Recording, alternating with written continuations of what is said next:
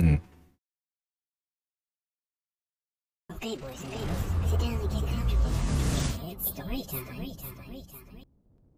Once upon a time, there was a great engineer by the name of Mr. Fibbles.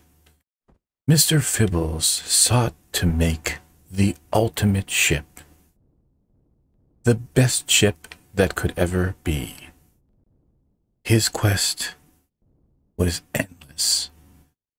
From searching for thingamabobs to platinum plated doohickeys, he searched long and far.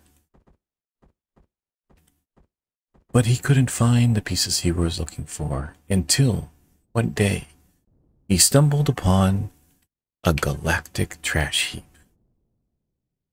And he was amazed at the treasures that he saw. Here was a doohickey, there was a thingamabob, everywhere was a whatchamacallit. He was in love. But to his great dismay, the only tool he could ever find was a flimsy plastic spanner. And so, time went by as he searched endlessly for the parts that he needs throughout this, the galactic jump field. Far and wide, every time, risking his beautiful, flimsy plastic spanner. At any time, it could break, and then he would be lost, unable to get the pieces that he needed.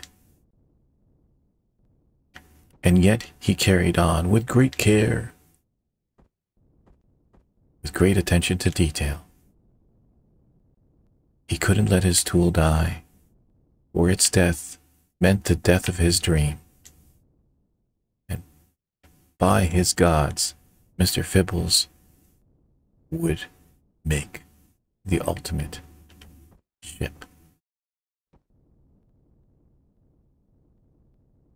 Then he saw a wreckage, almost glowing, lit and gleaming sparkle of sunlight across the junkyard. He ran, plastic spanner in hand, joyously towards the wreckage, for he knew, he knew what he sought was there. There was no doubt in his mind. His heart was elated. And he ran, and he ran, ever getting closer to the wreckage. But unfortunately, along the way, he stumbled. And out of his hand flew his flimsy plastic spanner, falling in the grate down the drain. Oh, he woed to himself, if only it had been made out of metal. I could use a magnet to get it out of there. He pushed and pulled at the plas- at the grate, but could not get it dislodged. There he sat in dismay, wondering whatever will he do. How could he achieve his dream of the ultimate ship until he heard a sound? It was a strange sound coming from the sewer. Suddenly, a green, what seemed like a hand, reached out of the sewer, and in it was his flimsy plastic spanner. Well, there, old boy, do you have any mulch?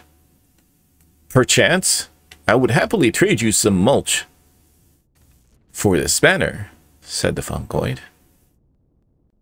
Mr. Fibbles laughed and said, Give me the spanner, let me build my ultimate chip, and you will have all the mulch your heart desires. And so, the fungoid handed over the spanner, and they both proceeded to the wreckage to fulfill their dream. Well, Mr. Fibble's dream, and the fungoid.